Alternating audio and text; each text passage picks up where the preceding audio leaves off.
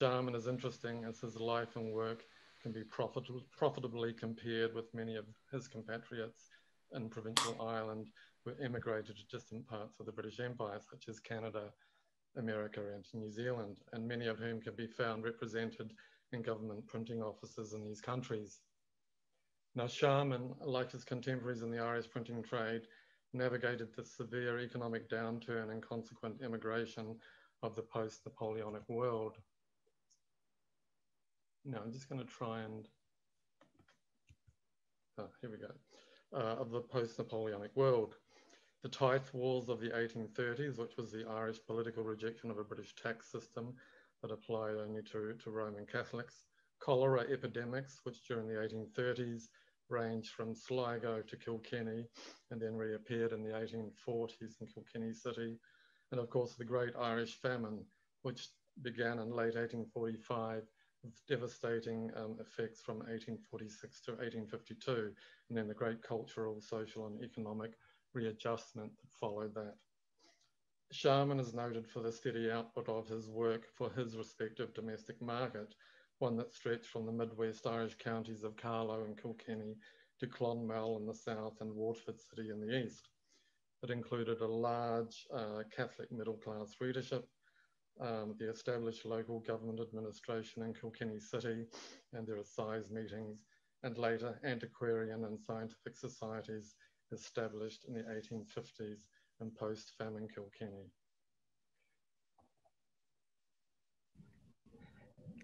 Kevin, if, if I could just, is, is I could just jump in for his groundbreaking 1839 commercial. Kevin, I just jump in for a second?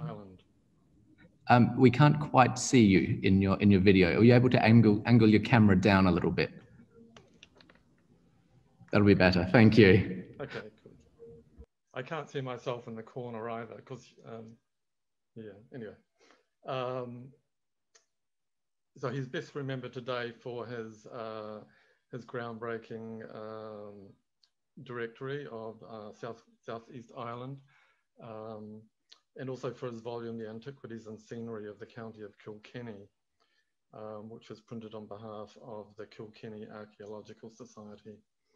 Now, Shearman's directory is a one-off edition, is wide-ranging in its attempts to cover the main businesses in Southeast Ireland in the towns of Waterford, Kilkenny, Carlow, Clonmel, Carrick-on-Suir, and New Ross useful for travelers and traveling commercial traders. In it, for example, we find an extended advertisement by Clonmel printer James Shanley, who a short time later was resident in Melbourne, printing one of the first weekly newspapers and later commercial and religious directories. So Shearman's 1839 directory was a major printing initiative for the period, um, and perhaps given the fluid economic and demographic changes over the next five years, it was one that was not undertaken again. Now, Shearman was descended from uh, Cromwellian settlers who were given confiscated land in Kilkenny in the payment for war services uh, in the wake of the fall of Con Kilkenny during the Cromwellian invasion. And that's very important for establishing his position as uh, a mediator between um, Protestant and Catholic communities. At some point in the early 18th century, one of the family female members, after a dream, uh, as family stories recount, converted to Catholicism along with her children. So there were these close kin connections between local families of both Protestants and Roman Catholics. Thomas Shearman was uh, baptized in Kilkenny in 1874. His father was a wine, uh, wine merchant, um, and at an early age, uh, Thomas was sent to the Kilkenny printing business um, of the Leinster Journal, uh, run by Mr. Patrick Kearney. Now, the Leinster Journal circulated widely among Catholics, Catholic merchants, and uh, the wealthy farming classes uh, in southeast Leinster and East Munster. Um, and as was standard in many provincial towns, Kearney, as a local newspaper owner, consistently acquired the lucrative printing contracts with the Kilkenny Assizes over the years 1803 to 1815, work that was later undertaken by Shearman. Now, Shearman married in Kilkenny in uh, 1824 at the age of 30.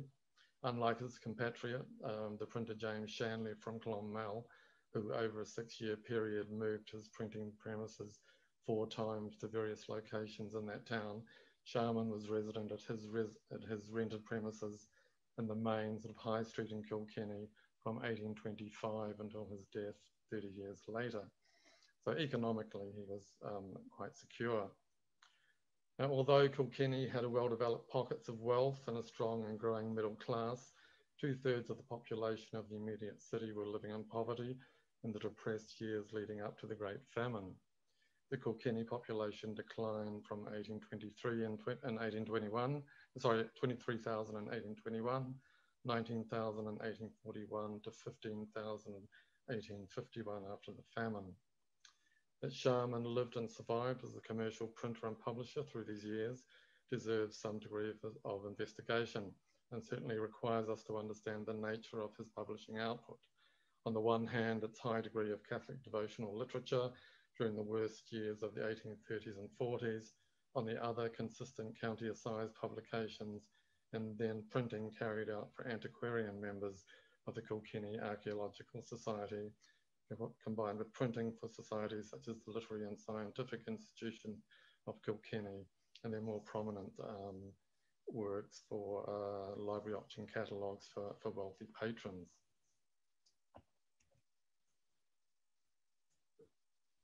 While we are dealing with a printer who printed and published only in English, the main language in Kilkenny, and certainly the main language for administrative purposes, Irish was spoken as the preferred language in many districts surrounding the city and was still the first language of many well-off farmers in County Kilkenny.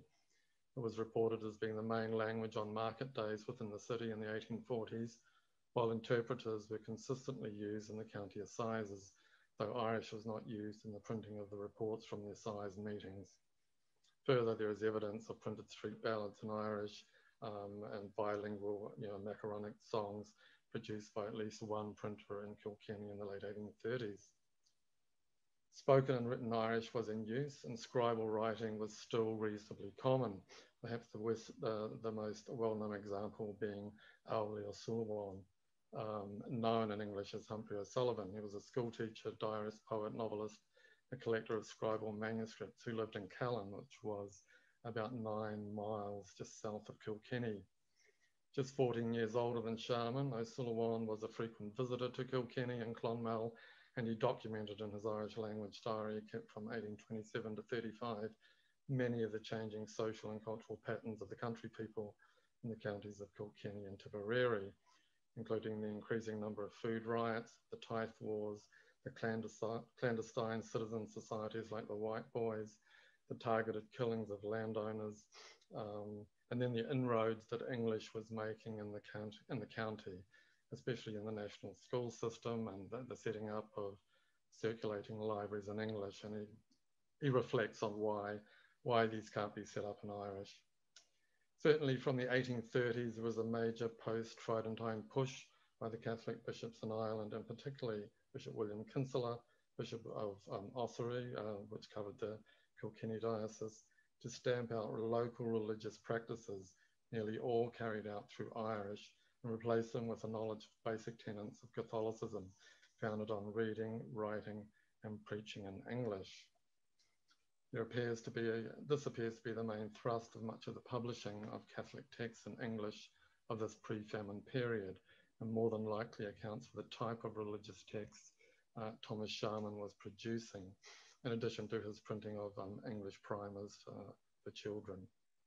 So despite living in a bilingual world, there's no evidence that uh, Shearman spoke Irish um, or printed in Irish.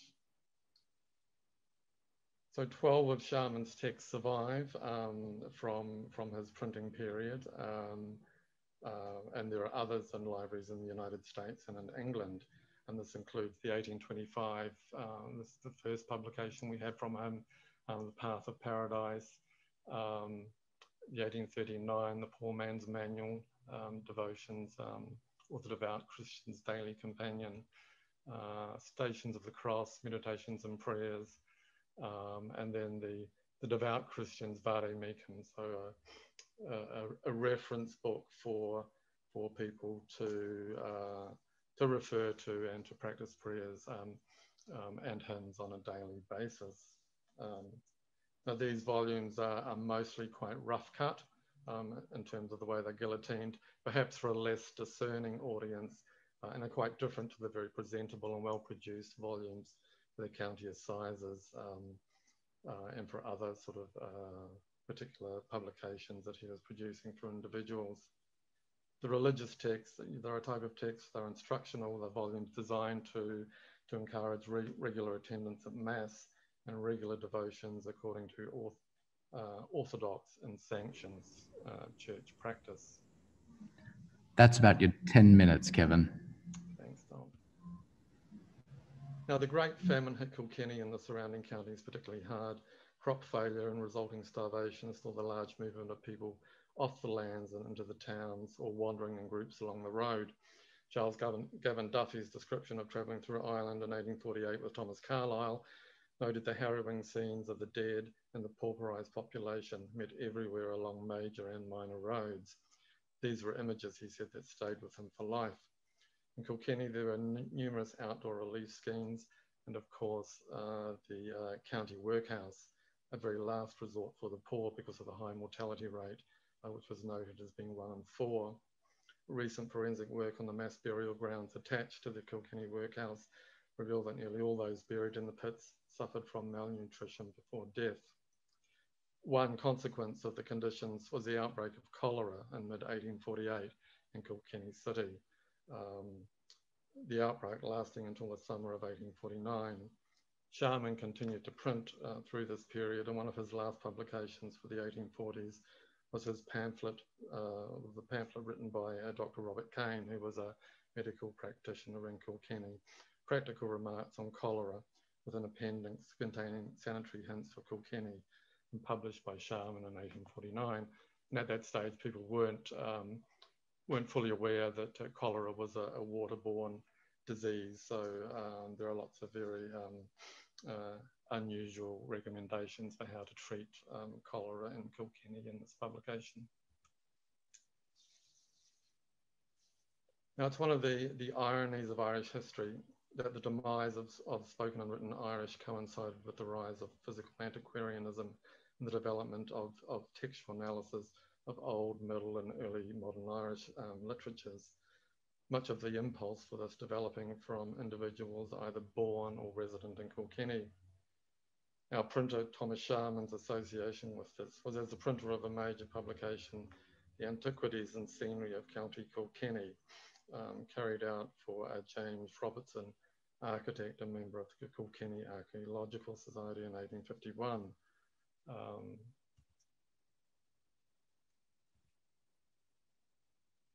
Shearman was also the printer of uh, for the Literary and Scientific Institution of Kilkenny, a denominationally mixed society dedicated to uh, lecturing on the latest advances in chemistry, astronomy, and geology.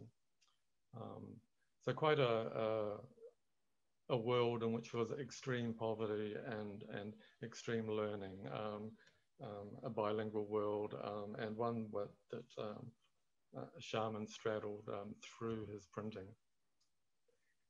Now, in conclusion, we don't yet have sort of fur further details on Shearman's life, his role, though his role as a skilled printer and his surviving publishing output is significant.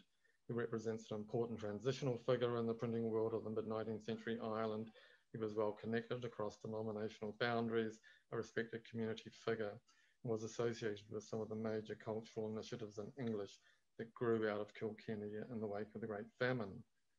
As a printer, he was acknowledged as a skilled operator who survived through economically and socially fraught times, printing for the Catholic Church, the Kilkenny City Corporation, and the developing antiquarian societies in the city.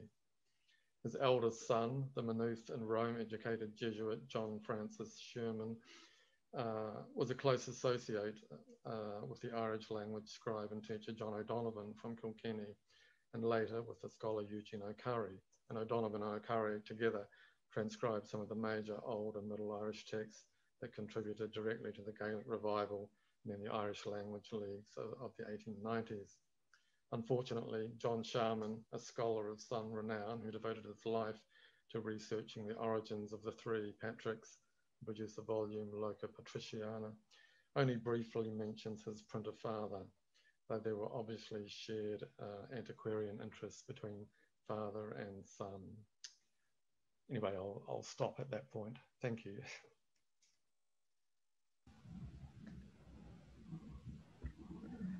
Fantastic. Thank you very much, Kevin. Are you able to? yep, perfect. There we go. Um, okay, so we have one question in. Thank. Uh, this is from Anna.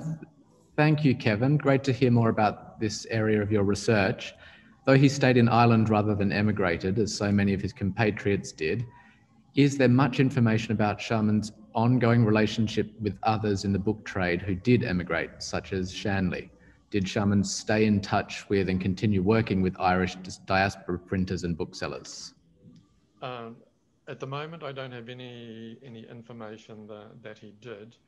Um, there's no surviving correspondence. There's a little bit of surviving correspondence from James Shanley um, and certainly Shanley's sons, who were both printers in uh, Victoria, did go back to uh, Tipperary, um, but um, we don't know at this stage to what extent Shearman was in, in contact with, with local printers. Though, I mean, it's, it's, it's likely that he was. It was such a small world, and um, you know, just 100 meters away from where Shearman was printing in High Street was uh, the premises of John, John O'Daly. He later became a very, uh, he moved to, to Dublin in 1845 and became a very famous um, bookseller and Irish language printer. Um, yeah, that's all at the moment. Mm, okay. Um, and and another um, question similar to one that I asked um, Mariam earlier what what kind of distribution and, and print runs were these were these publications printed in?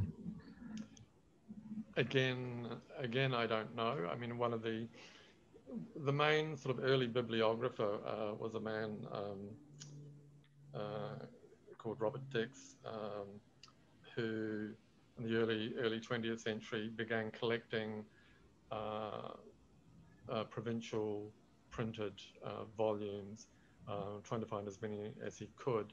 Um, and the ones that are, that are now housed in the, the National Library in Ireland, um, uh, he remarked when he deposited his, his quite large collection that there were, there were very few that had survived because most of those were, were sort of quite, were very ephemeral. So the, the, the texts that do survive from, from Shearman are, are quality texts or administrative texts mainly. Um, the administrative texts would have been kept um, locally by various institutions. The religious texts, I'd say, were uh, they they wouldn't have been cheap, um, and, they would have had a, I think, a reasonable circulation. I mean, Shearman's name was was reproduced in newspapers around Ireland in the, the mid 19th century. People knew him as a bookseller to get particular texts. In terms of print runs, we don't know, but obviously he um, uh, economically he was he was secure, much more secure than than the printer James Shanley. And That's why the comparison is interesting. Shanley went, Shanley went bankrupt three times before um, arriving in Australia, um, uh, whereas Shearman maintained his business and obviously had good connections with um, you know the local city corporation in Kilkenny.